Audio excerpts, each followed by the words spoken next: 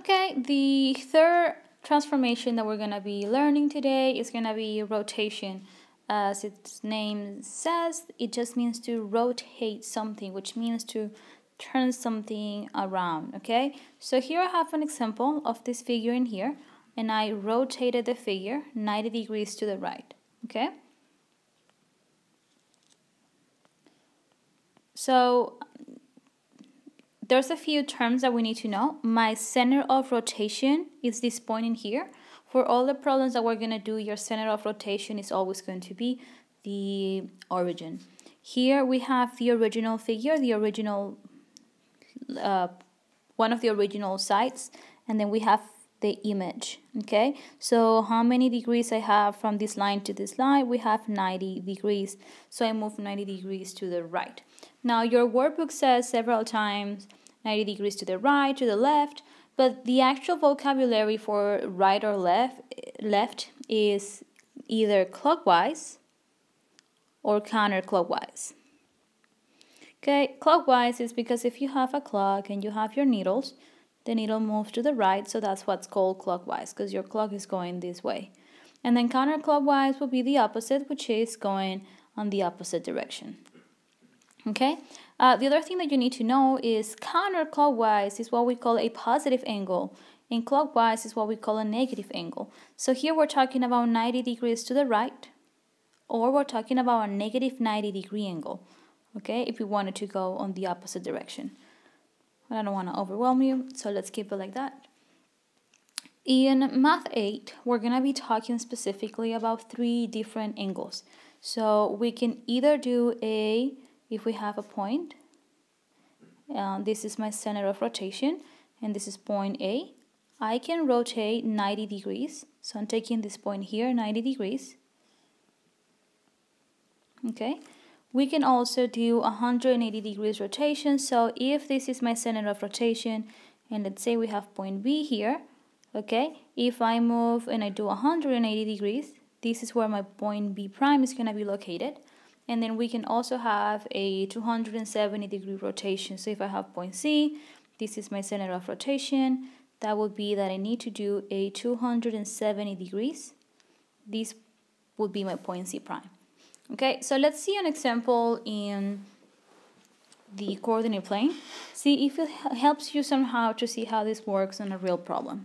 So we have here the point P, uh, who has coordinates 5, 2. And what I'm going to do to trans to rotate this figure is that I'm going to use this strategy that will help you a lot. So your center of rotation is always going to be, it's always going to be the origin. So what I'm going to do is that I'm going to create this arm in here, connecting with vertical and horizontal lines, your point with the center of rotation. So what I'm going to do here is, if I'm rotating 90 degrees and a line was vertical, it's going to become horizontal. And if a line was horizontal, it's going to become vertical. So that means that this angle in here, this, this section in here that is one, two, three, four, five units, uh, length of 5 units, is going to be now one, two, three, four, five on your y-axis. Okay? And then I'm moving 2 units up, which is going to be 2 units to the left. I don't know if you can see here how we're rotating this 90 degrees. This section in here is 90 degrees. And this point that we have in here, this new point is going to be the point P prime. And we just rotate it. We could also connect P and P prime, okay, with the center of uh, rotation. And also this angle that we have in here between these two lines is 90 degrees. Okay?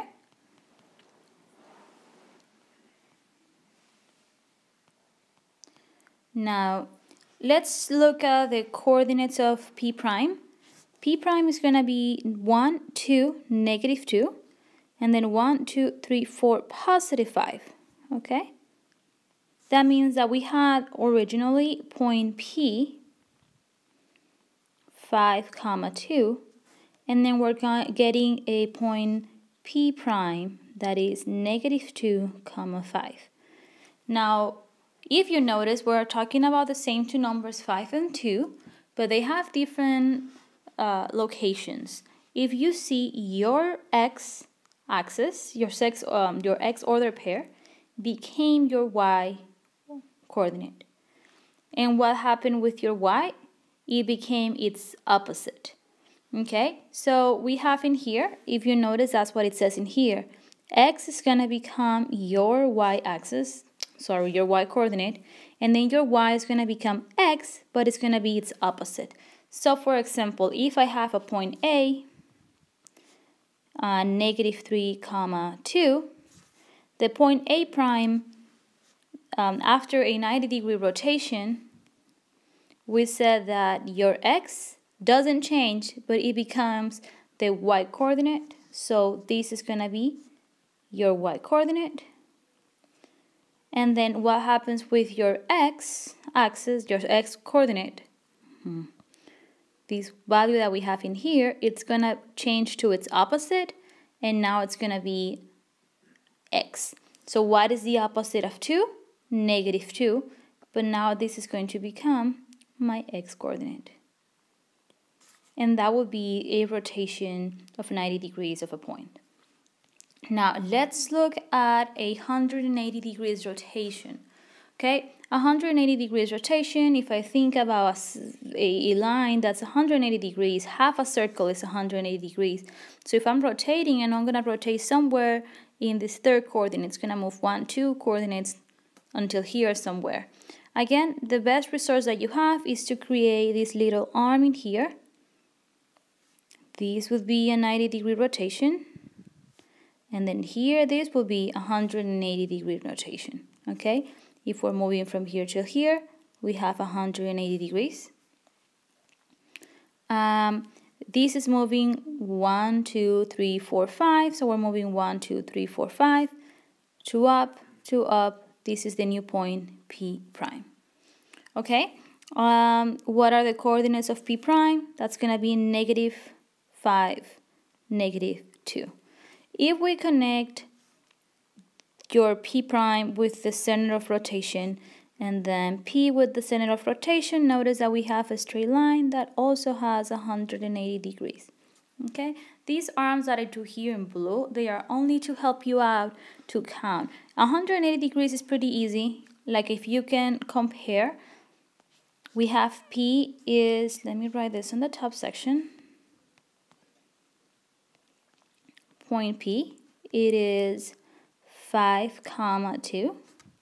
And then P prime is going to be negative 5 comma negative 2. We have the same values, 5 and 5, 2 and 2, but they, instead of writing positive 5 and 2, we have its opposite. So the opposite of 5 is negative 5 and the positive 2 is negative 2. Now, let's see an example we have without the graph. Imagine that we have the point B that is negative 4, comma 3. If I want to write the point B prime, according to this formula in here, it says that x stays in the same location, but I write its opposite. What is the opposite of negative 4? Positive 4. And then y stays the same, but instead of writing y, I write its opposite, which is negative y. That's going to be the opposite of 3, negative 3. And that would be the point after a 180 degrees rotation. Last, we have the 270 degrees rotation. Same thing that we have in here. All of these are positive, so we're doing always counterclockwise. I'm going to do this little arm again, and I'm going to rotate this 270 degrees okay how many degrees I have from here till here this is 270 degrees um, if this point in here was a point 5 positive 2 this is going to be the point negative 5 and then positive 2 here so P prime it's going to be 2 negative 5 okay if we compare try to find patterns in here we have the P is 5 comma 2 and then p prime is going to be 2 comma negative 5 Okay, so let's compare here. Your y became your x. Okay, we had 2 to now change, flipped its direction with 5, and now it is the first number that you see on your coordinate. Now, what happens with the other value that we have? It was a positive 5, and it changed to a negative 5. So we're writing its opposite. Okay? That will be the pattern. X would change to its opposite and it will flip with Y. Y stays the same, it only changes its location. So if I have, for example, point C, and let's say that the point C is going to be negative 2 comma negative 7, after a 270 degree rotation, C prime will become, let's see what it says, your x changes to its opposite, okay, so this is your x coordinate. What is the opposite of negative 2? Positive 2, but it's changing, it's flipping with y. Okay, what's happening with your y? Stays the same, the only thing that's happening is that it's changing its location, it's flipping with x. So how much is your y? Negative 7. It stays like negative 7, but it's being flipped. Okay, so it's flipping its location with x. And this will be the point after a 270 degree rotation. Again, if you want to check that your word is correct, you can connect your point with the center of rotation, which is always the origin. And then we have from this point to this point a 270 degrees okay now those are rotating only points let's see how it looks when we have rotating a whole figure okay? And what I want you to pay attention is how the labels will change when we rotate the figure. So it says parallelogram FGHG FGHJ has vertices F to 1 G7 1 H6 negative 3 and J1 negative 3. Okay, so this is the figure that is given to you. And the problem says that you need to rotate this figure. Let's see what it says. 180 degrees about the origin. Notice that it doesn't say if it is right or left or counterclockwise or clockwise because it doesn't matter. If you go clockwise 180 degrees or you go counterclockwise, you're going to reach the same point. Okay, so first thing that we're going to do, I'm going to use this tool and I'm going to rotate my figures. This point in here would be my F prime. Again, I'm moving 7 and then 1 up and then if I move in the opposite direction it's going to be 7 and 1 this is point G prime. Okay here I'm moving to the next figure um, 6 and then 3 so if I rotate this is going to be 6 and then 3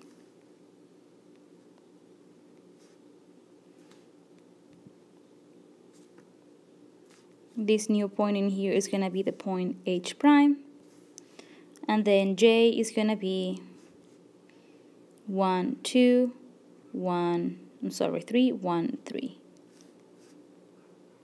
This is J prime. We connect the points. Okay, and this would be the rotation of the parallelogram FGHJ. I'm going to clean this up a little bit so it is easier to see here you go okay?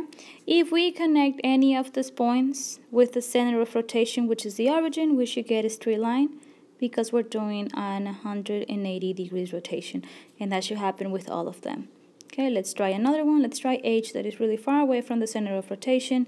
We connect H with the origin and then we connect H prime with the origin as well. Yeah I said them the opposite way okay? And then if you notice here we're creating a 180 degrees straight line. That's because that's how we're rotating this point all the way to here. Okay? And that would be it. Um, there is an easier way to rotate using patty paper where we don't have the tool. Usually what I do is that I explain how to rotate figures using the patty paper, which is like a, a tool, and then you can physically see how the points rotate till you find the pattern, but we don't have the tool anymore. So we need to learn how to rotate them either using the rules that we learn on the other paper. So I will highly recommend you rewrite this down so when you have to do a problem, you have them or also if you want if you are allowed to use a graph then the tool of rotating the arm and actually taking this and rotating this 90 degrees or to 70 that works as well. If you have more questions